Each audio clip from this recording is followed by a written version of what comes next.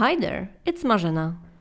In my last video I was celebrating the first year of my channel and today we have yet another celebration to make. We reached 50,000 subscribers. I am so happy that so many people care about my work and are curious of what I'm gonna do next. So, what would be better for a big celebration than my first ever group challenge? A few months ago, Telle from Telle y Dollies reached out to me and asked if I want to make a challenge with her. I knew her works, watched all her amazing videos, and personally, I think she's one of the most skilled customizers here on YouTube, so I immediately said yes. So here's my part of our black and white with a hint of a gold challenge. I came up with a simple concept for an unicorn fawn with her human parts black and her horse parts white. Noir will be a great choice for this one. I started, of course, by removing her hair. I cut them as short as possible, heated up the head in a boiling water, which made the vinyl and the glue inside the head softer and easier to remove.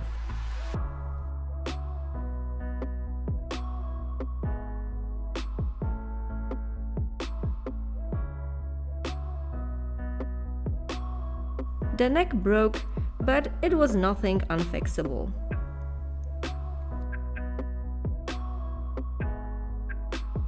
I removed the melted glue and the hair plugs from the head.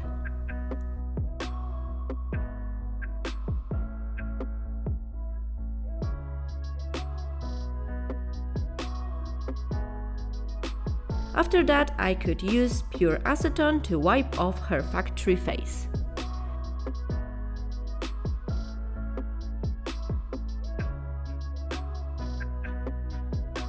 I prepared 9 to 1 acetone and water solution and submerged the head in it to shrink it. 2 days of soaking, 2 days of drying and repeat. I fixed her broken neck with a tiny bit of superglue.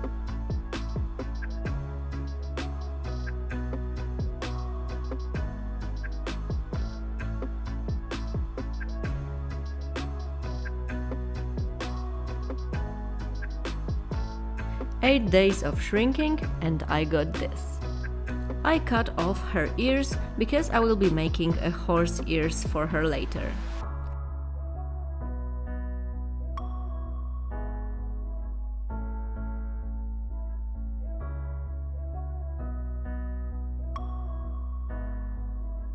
Then I could mark where I wanted the hair to be and because it will be a mane, I went a bit further down her neck than the original hairline. And I kept it between her ear holes. She looks like a skunk now. Time for the reroot. I prepared the hair from brushed out yarn and I used sharp scissors, an awl tool and a handmade reroot tool and I can't stress that enough. A shrunken head is hard, it is true. Rerooting shrunken head isn't hard. It is very simple and I never had any problems doing it. So I'm fine. I have rerooted a few shrunken heads in the past and I will also do it in the future. Again, I will post a great tutorial for it in the description box, so go check it out. I needed to plug those ear holes, make a wire reinforcement for the new ones and fill the head with a high-tack glue to secure the hair plugs inside.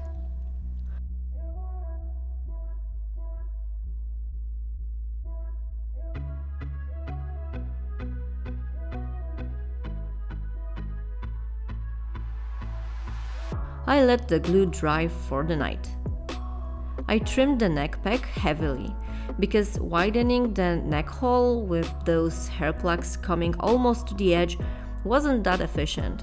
I could do it only in the front.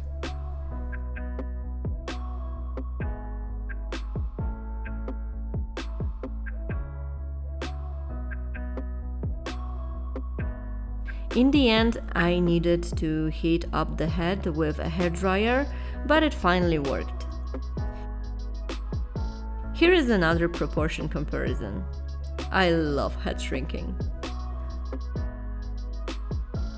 I pinned down some fabric at the hairline to protect the hair from sculpting materials, varnish, and dust particles.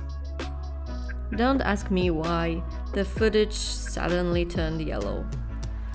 I am in a huge need of a new camera. I sanded her scalp just a little bit so the epoxy would stick to it better. I marked the spot and drilled a hole for the horn.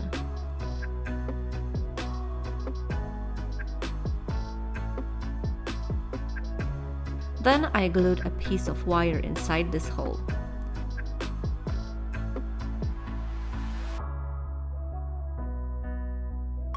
With epoxy sculpt, I covered all the remaining hair holes on both sides of her head.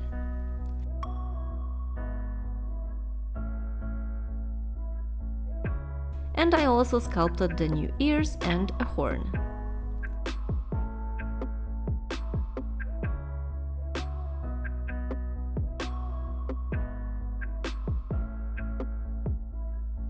The first ear looked too big for my taste, so I removed it and made a smaller one.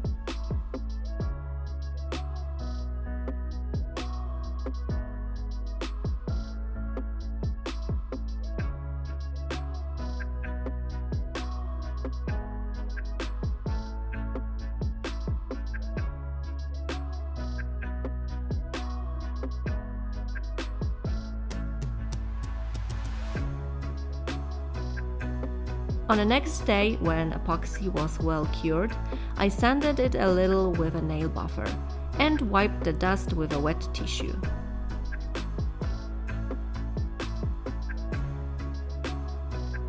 Then I could paint the green epoxy with a black acrylic paint.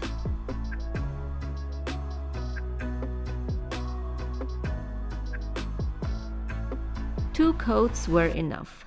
I sprayed the head with three layers of Mr. Super Clear and she was ready for the face-up. It was a black and white challenge, so I couldn't use any other colors than black, white and shades of grey.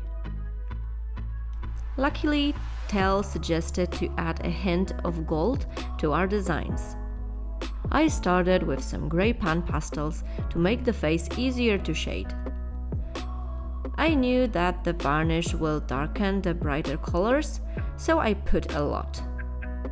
I added some depth by shading and blushing with white and black.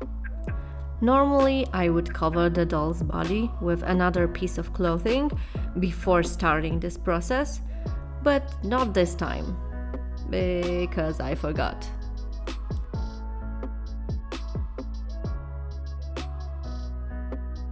After a coat of MSC, I repeated the process.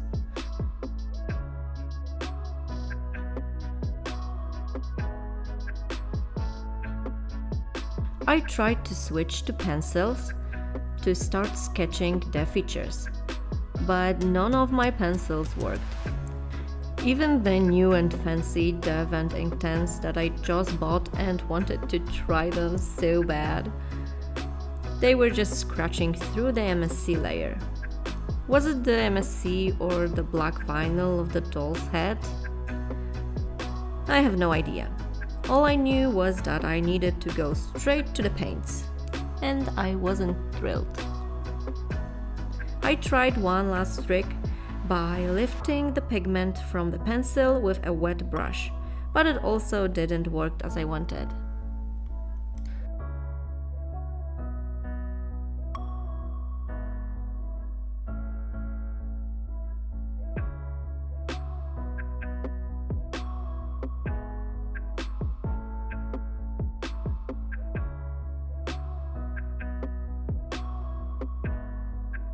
Struggled a little with this face up. Using only grayscale is a bit challenging and the face ups on blackheads are not easy in general from what I know. So I knew I was screwed. but I still wanted to push forward and make something at least decent.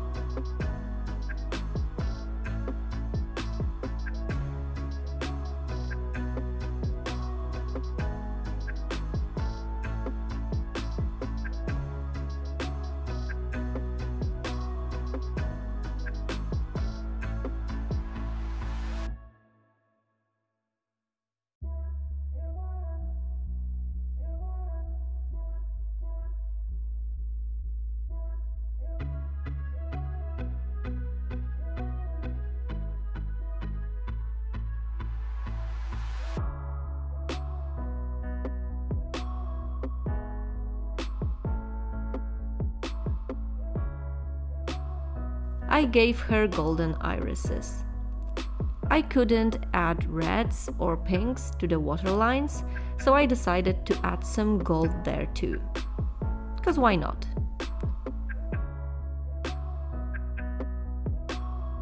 It wasn't that bad, you know?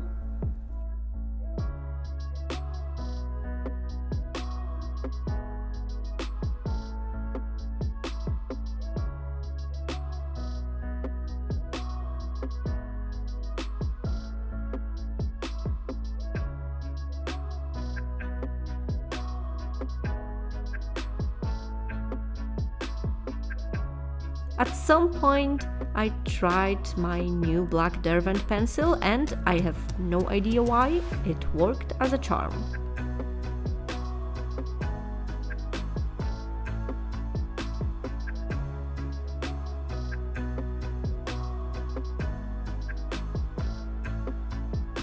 I started drifting from hate to love for this face up.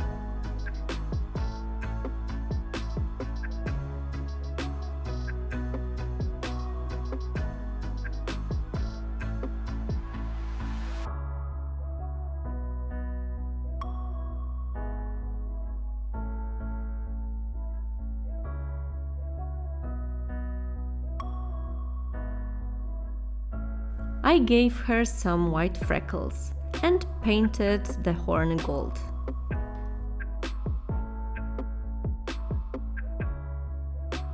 And because I planned something nasty for her, I'm, I'm sorry, I'm just being me. I added some trickles of golden blood dripping from her mouth and one eye.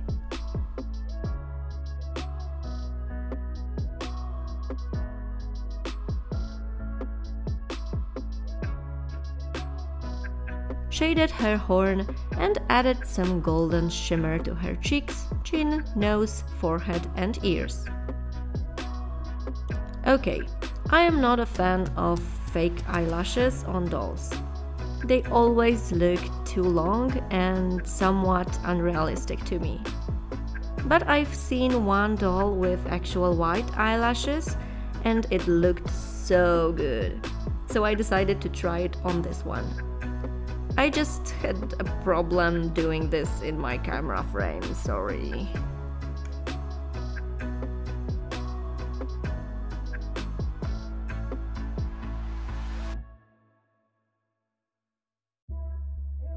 When the glue dried, I cut the lashes a little bit shorter and I painted the white eyeliner once again.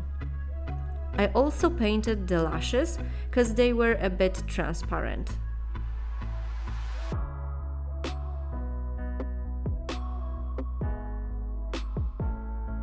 I added some lower lashes with watercolor pencils and some highlights on the horn.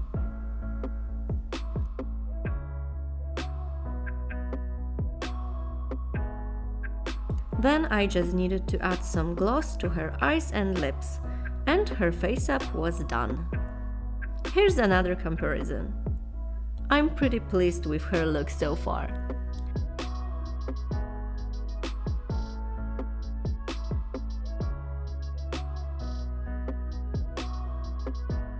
I covered her head with a plastic wrap, carefully not to press the eyelashes.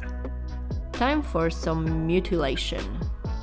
I cut off her legs at the shins, smoothed the edges and removed all plastic seams, factory numbers and panties.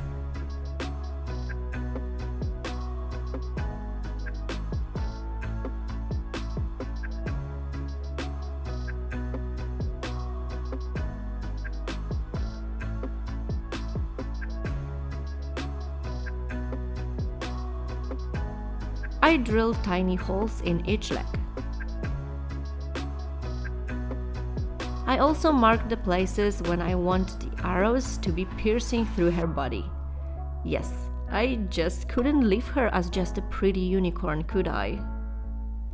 I made sure to drill all the way through. I widened the holes just a bit and placed the toothpicks inside so I could position her missing hand. Well, Pauline's hand. A cat and a dog becoming one as a horse. Ironic, isn't it? Or just weird. In my world, we call that Thursday. I placed the wire for her horse legs and fixed the doll in her final pose using super glue. I also attached her new forearm and glued in leg wires. I used epoxy sculpt once again, this time to create horse legs. I'm smoothing the epoxy with my wet fingertips.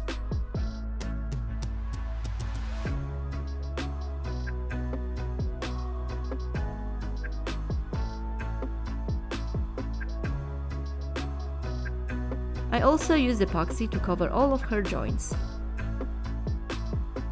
On the next morning I sanded the surface of a cured epoxy with a nail buffer and wiped the dust with a wet tissue.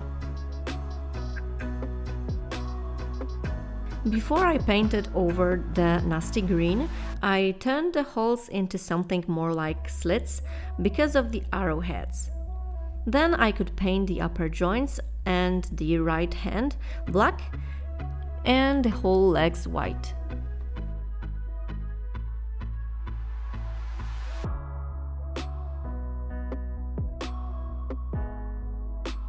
Oh, I also painted the hooves black.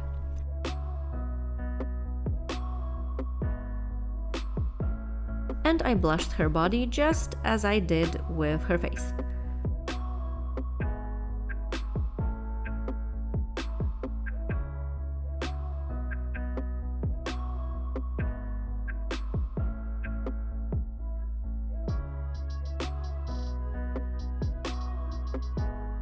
I also added some golden paint around the wounds.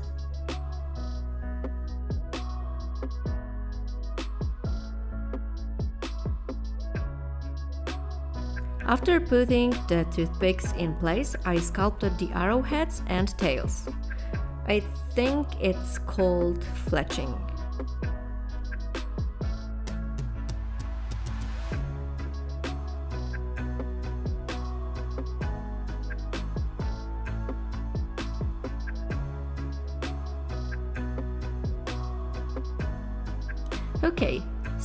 While the arrows were curing, I made the tail.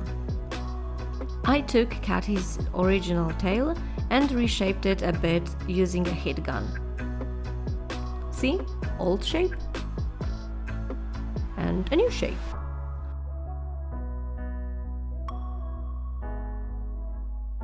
Then I took some acrylic hair and glued them straight to the tail from the end to the base.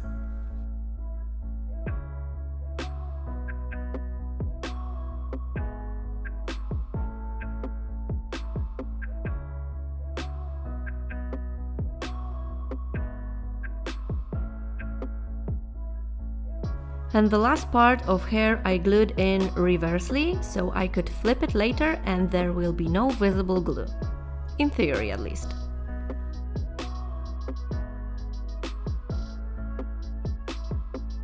I secured the epoxy part of the arrows with super glue.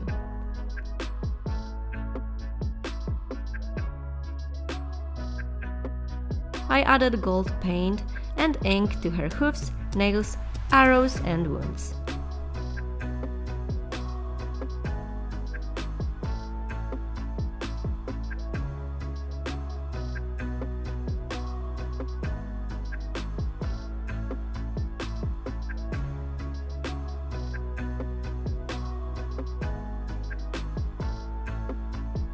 Painted the fletching white, gave the body gold blushing and fixed everything with last layer of MSC. From the leftover hair I created a lot of fluff that I will be gluing to her butt and legs. First glue, then goes the fluff. Repeat when the glue will cure and one last layer of glue on top to secure everything.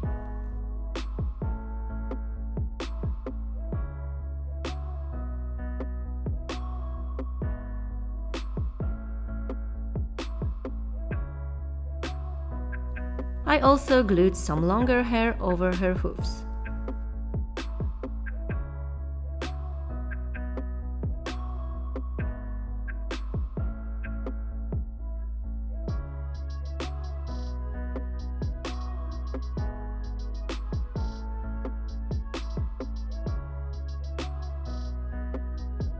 Okay, let's free her head.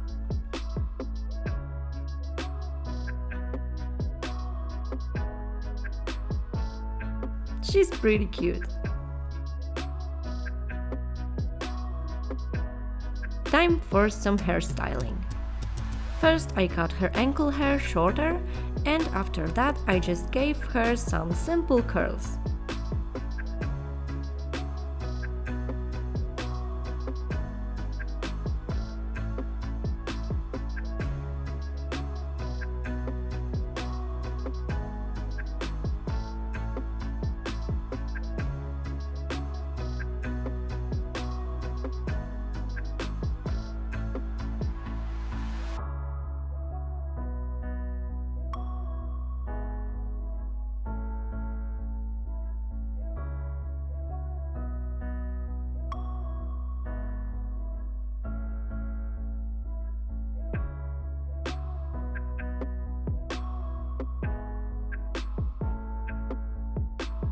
Last time I went a little bit too far with my stand, so today let's get back to some basics.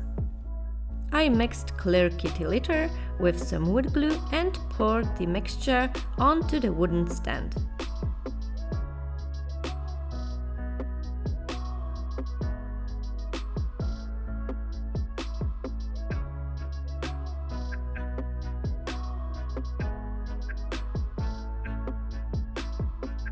This is why you need to poke it while it's curing. I forgot about it and it expanded way too much. Luckily, it was still soft, so I could just cut it into desired shape.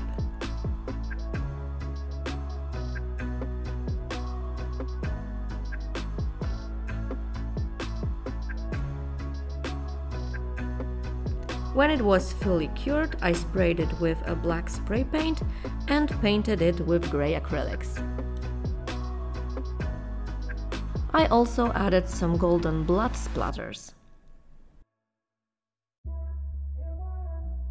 I was annoyed with her puffy bang thingy, so I just sew it to the rest of the hairstyle, so it will lie a little bit more flat.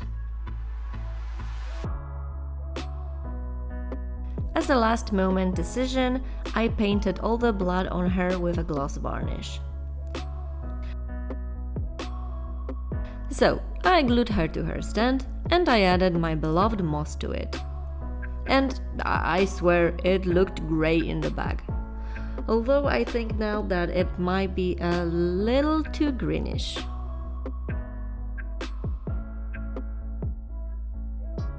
Anyway, she was done.